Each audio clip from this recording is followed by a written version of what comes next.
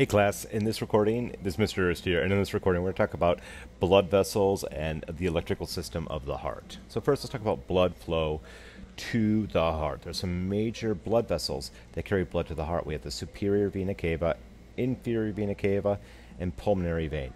And it's a rule of thumb, if it carries blood towards the heart, it's a vein. So let's look at invisible body here. Here we have our three-dimensional heart floating in the void. Up uh, here, associated with the right atrium, we have the superior vena cava.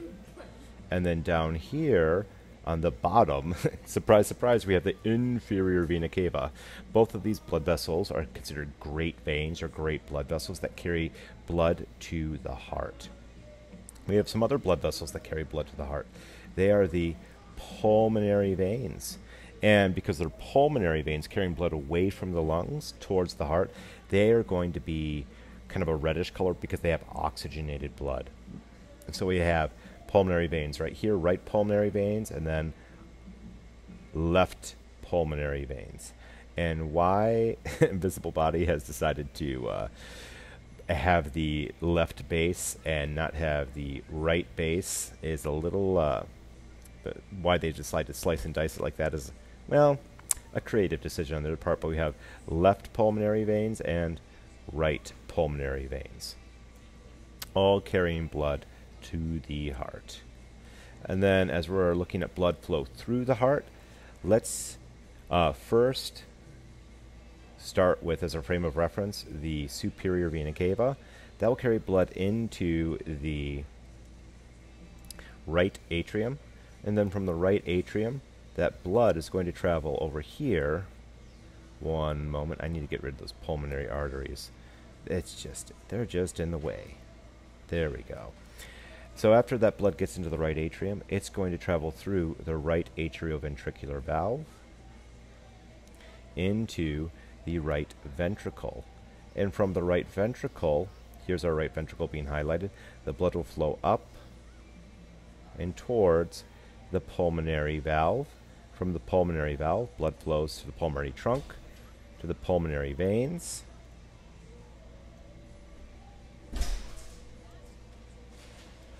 Let me reorient for you here. So to the pulmonary veins. And from those pulmonary veins, it will go to the lungs, drop off carbon dioxide, pick up oxygen, and come back to the heart through the pulmonary, ar- excuse me, I said pulmonary veins. I should have said pulmonary arteries. That was a a rookie mistake on my part. They're going away from the heart, so they are an artery. So we have the pulmonary arteries right here.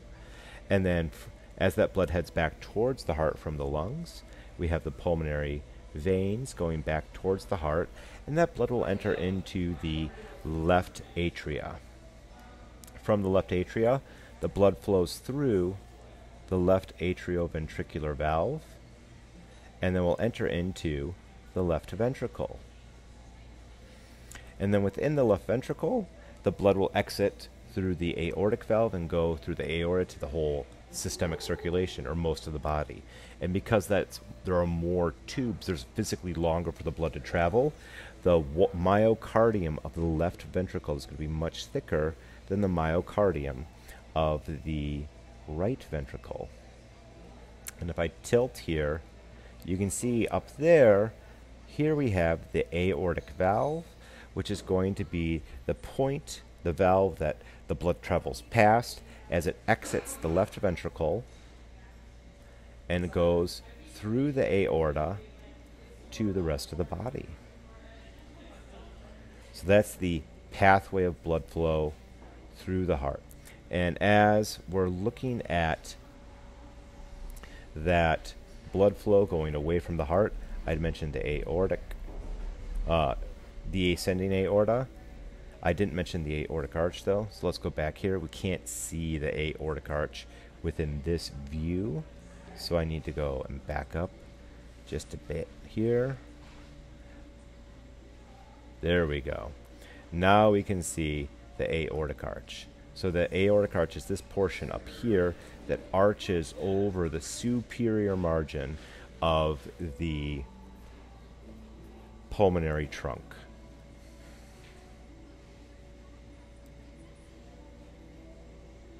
And we've already mentioned the pulmonary trunk artery. and pulmonary arteries as well. Let's move on to coronary circulation. So, as we look at coronary circulation, these are going to be the blood vessels that carry blood to the myocardium of the heart. And I need to go ahead and just reset this view here. So, let's get rid of the pulmonary system entirely, or the respiratory system. I always call it the pulmonary system. I'm just, I'm, I have a, I'm a lung-centric kind of guy. What can I say? So I, uh, let's get rid of pulmonary circulation too. So we have a nice, clean, crisp-looking heart here. So while we're looking at the coronary arteries, these are the arteries that carry blood, deliver oxygenated blood to the myocardium. And we have the left and right coronary artery. And if you just look at the gross view of the heart, we have the right one on the right side and the left one on the left side, but there's more to it than that. These coronary arteries are the first blood vessels to leave the aorta. Here's the ascending aorta. And if I remove the pulmonary trunk, you can see how the right coronary artery, let me remove that there as well, that right coronary artery is the first blood vessel to exit the aorta along with the left coronary artery also being the, the first blood vessel to exit the aorta. So the left and right coronary arteries are the first ones to carry blood away from the aorta. And if you think of it, the heart is going to be a little bit selfish. It's going to deliver oxygenated blood to itself before anything else gets oxygenated blood. A question a lot of students will ask me is Is coronary circulation part of the systemic or pulmonary circuits? And the answer is systemic because coronary circulation comes from the aorta, and the aorta feeds the systemic circuits. So those are the, those were the arteries. Those were the easy ones. The veins are a little bit more difficult to find. So first I need to back things up a bit for us here.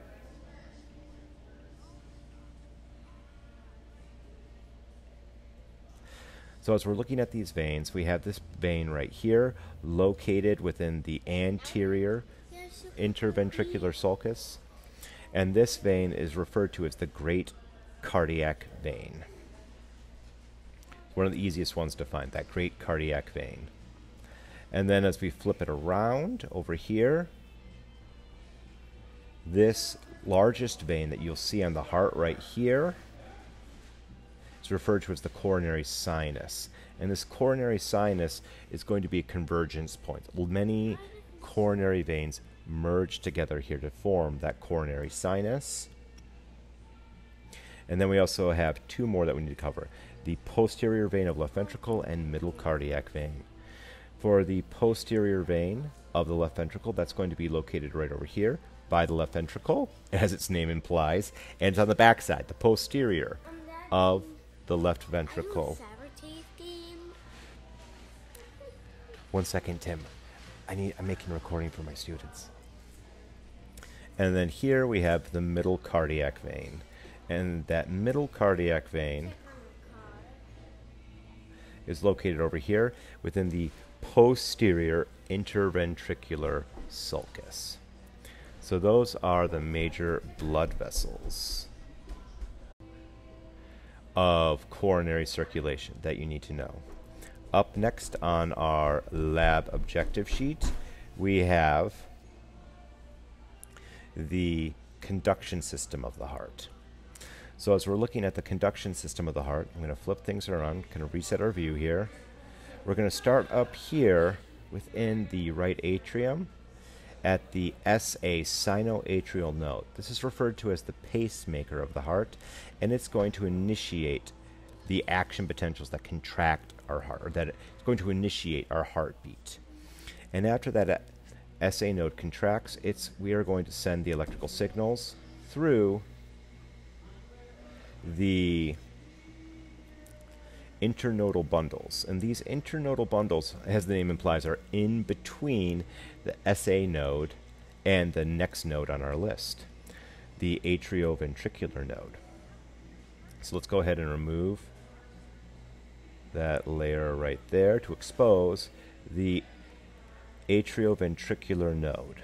And when that action potential gets to the atrioventricular node, it will pause for a little bit and then expose or then then it will travel through the atrioventricular bundle, also known as the bundle of His. And as that action potential travels down the bundle of His, it's going to separate to left-right bundle branches, which I can expose over here. So here is the atrioventricular bundle, and here are the left-right bundle branches, left and right. And then that signal travels down to the apex of the heart, where we'll ha then have the Purkinje fibers, the small little fibers, fibrous nerves that will then deliver the action potential directly to the myocardium of the left and right ventricles. So that's all of our coronary, our blood flow or blood, blood vessels of the heart and major nerves and nervous tissues of the heart. If you have any questions or comments, class, about this content, please feel free to post it in the class discussion board or shoot me an email. And as always, happy studies.